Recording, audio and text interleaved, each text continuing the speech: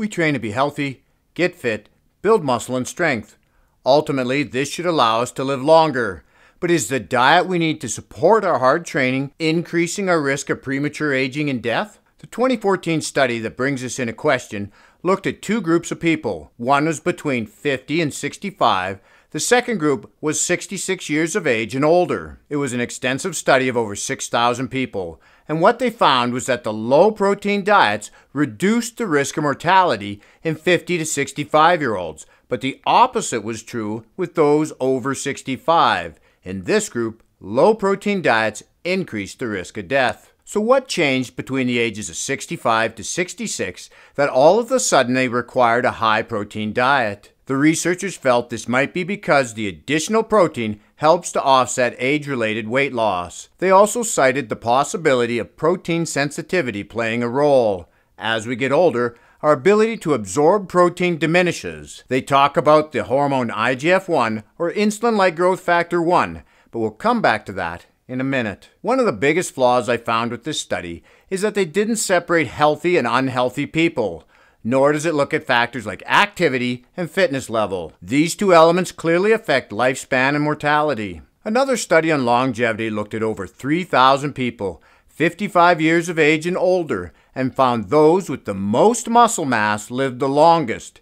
And we need protein to build and maintain this muscle. One group in the first study that didn't benefit from increased protein, even over 65, who as a whole requires more protein, had diabetes. With diabetics, their hormones aren't functioning properly, most notably insulin. Two of the best things people with diabetes can do to improve their insulin sensitivity is to lose excess body fat and build muscle. Increasing your protein intake could help with this, but it needs to be done along with a properly structured training and nutrition plan that puts you in a slight calorie deficit. Another hormone that needs to be functioning properly is IGF 1, which turns on a growth pathway called mTOR. This puts the body into growth mode, allowing us to build new cells and ultimately muscle. This is a good thing but when this pathway is turned on, other repair pathways are shut off, so the body isn't spending energy removing damaged, old, and malignant cells. When our bodies function correctly, the mTOR growth pathway gets turned on and off as needed. It goes wrong when it gets stuck in the on position,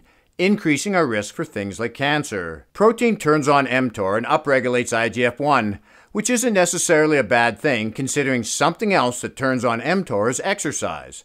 Exercise, including resistance training, improves our health and odds for a long life. According to a meta analysis done in 2011, both low and high levels of IGF 1 are associated with increased mortality, so there's a healthy range you want IGF 1 to stay in. People with diabetes have more trouble with high levels of IGF 1 because of another hormone, insulin. According to an article published in the Journal of the National Cancer Institute, chronically elevated insulin levels increase IGF 1, which in turn can increase the risk of colorectal cancer. What we're starting to see here is it isn't protein that's the problem, it's an improperly functioning endocrine or hormone system. So, after reviewing numerous studies, what does this article recommend as the best preventative measure for reducing overly high levels of IGF 1? They state from a population and preventative perspective, it appears that modifying insulin levels by reducing obesity, changing diet, and increases in physical activity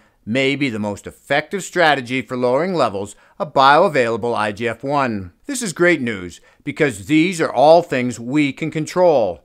To illustrate how building muscle can improve our insulin sensitivity, a study published in 2011 found after looking at over 13,000 people that higher muscle mass relative to body size is associated with better insulin sensitivity and a lower risk of PDM, which is pre or overt diabetes mellitus. So, how do we get started on the changes needed to live a longer, healthier life?